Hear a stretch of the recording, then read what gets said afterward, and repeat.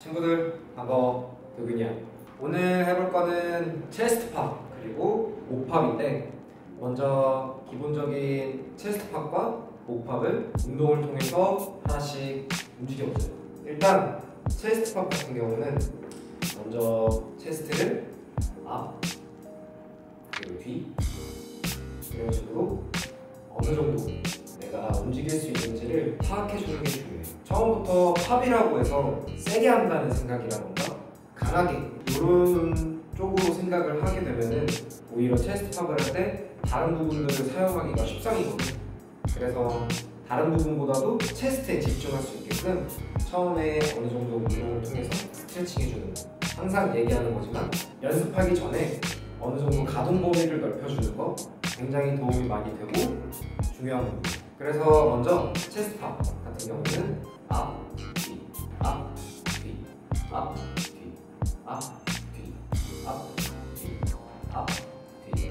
isolation 같은 경우는 chest를 앞으로 하면서 움직여주는 게 좋지만 chest pop은 위로 생각해주는 게 좋아. 그래서 위로, 위로 하나씩, 하나씩, 하나씩 움직여보는 거.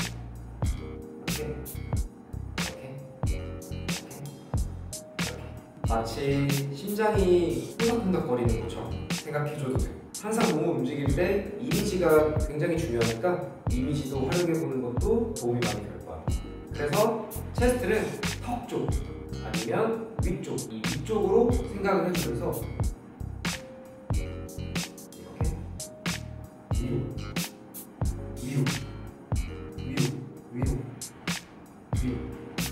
위로.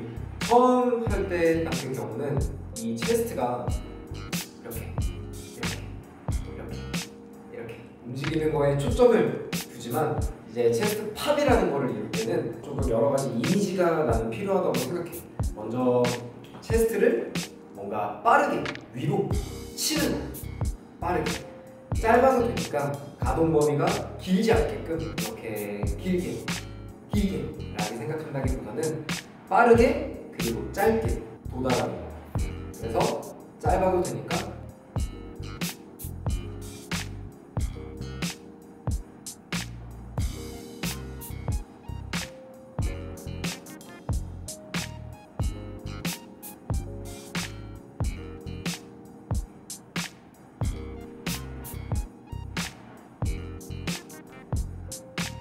두 번째로는 이 체스트 팝을 마치 뭔가 잭을 하는 것처럼 길지 않고 짧게 툭 뭔가 잽을 하듯이 잽 뭔가 잽 그래서 뭐 내가 상대의 거리를 측정하는 거라고 하더라고 잽을 가볍게 툭 이렇게 하듯이 체스트 팝을 뭔가 잽하듯이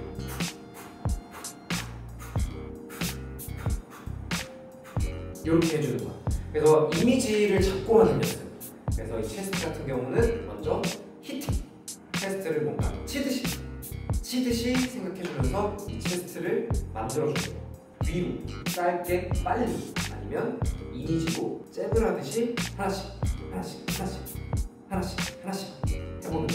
이렇게 두 가지 방법을 먼저 추천하는데 이때 많이들 실수하는 부분들이 있어. 체스트가 처음부터 이제 움직이기가 쉽지가 않기 때문에 어깨라던가 혹은 허리라던가 이런 부분들을 사용하게 되거든요. 그래서 이 부분에 대해서 자세하게 짚어볼게요. 먼저 내 기준에서 좋지 않은 방법이라고 생각하는 게 뭐냐면 chest가 나가면서 어깨가 움직이는 거. 어깨가 이렇게 같이 개입되는 거지. 이게 chest pop이 아니라고 하거나 틀렸다라고 볼 수는 없어.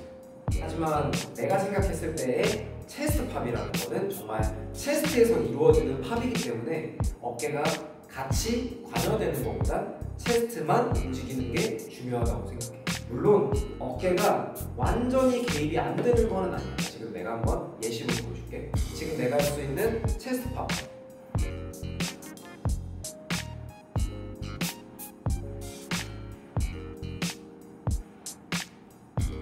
자, 이렇게 봤을 때 어깨가 완전히 개입이 안 되는 건 아니야. 그치? 근데 여기서 어깨가 개입이 되는 느낌이 어떤 느낌이냐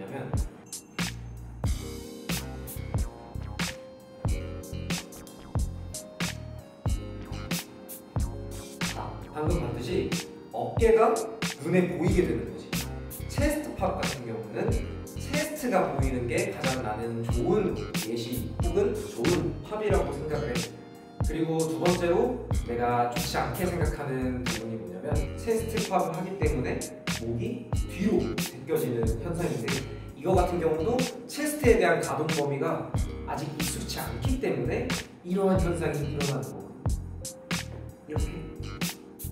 그래서 이 두 가지 같은 경우는 제일 처음에 이제 어떻게 연습을 하게 되고 시작을 하게 됐느냐의 차이가 많이 날 수 있지만 당연히 개선할 수 있는 방법이 있어. 자 먼저 아까도 얘기했지만 가장 기초로 돌아왔을 때 체스트의 가동 범위 혹은 체스트를 얼마나 내가 잘 사용할 수 있는지에 대한 여부에 따라서 이런 버릇들은 쉽게 고쳐질 수가 있어. 이 영상을 보고 있는 친구들이 체스트 팝이 가능한 친구들이라면 그 가능한 친구들 한해서 자기가 생각할 때 혹시 이런 버릇을 가지고 있다면 내가 방금 얘기한 조금 더 완전 초심으로 돌아와서 체스트를 움직이는 거에 좀더 초점을 두면 이 부분은 금방 해결할 수 있을 거라고 생각합니다. 그래서 이 방법 같은 경우는 체스트를 보다 더 많이 의식하고 연습하는. 여러 가지 이미지라던가 혹은 감각적인 걸로 생각을 해줘도 되지만 제일 내가 직설적으로 얘기할 수 있는 건 체스트를 얼마나 의식하고 혹은 chest를 얼마나 눈으로서 많이 보여줄 수 있는지에 대한 연습 이 관건인 것 같아요. 그래서 이 chest를 이렇게 chest만 여기서 이제 우리가 호흡을 사용해도 되거든요. 호흡을 사용해서 chest를 보다 더 극대화 시켜서 움직이는 거. 이렇게 되면 chest에 대한 느낌이 전보다 조금 더 향상시킬 수 있어.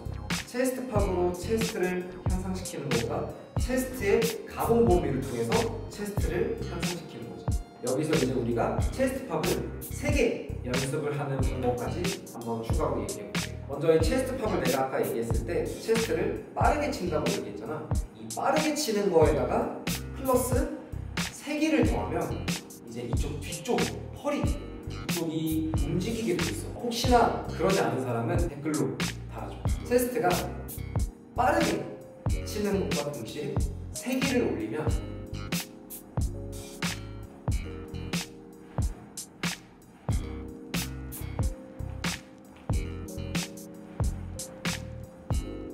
이렇게 체스트가 눈에 들어오지만 영상에서 봤을 때는 이쪽 허리가 사용되는 게 보였을 거야.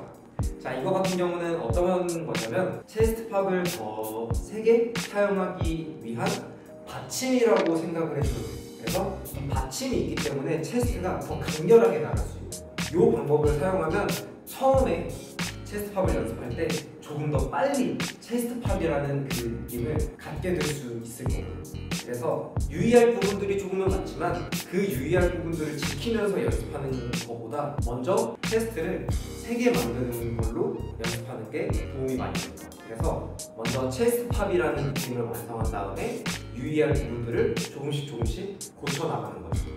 자, 그래서 체스트 팝을 좀 알아봤는데 이 다음에 내가 오늘 체스트 팝과 목팝을 얘기한 이유가 있어. 먼저 목팝에 대해서 하나씩 한번 알아볼게요.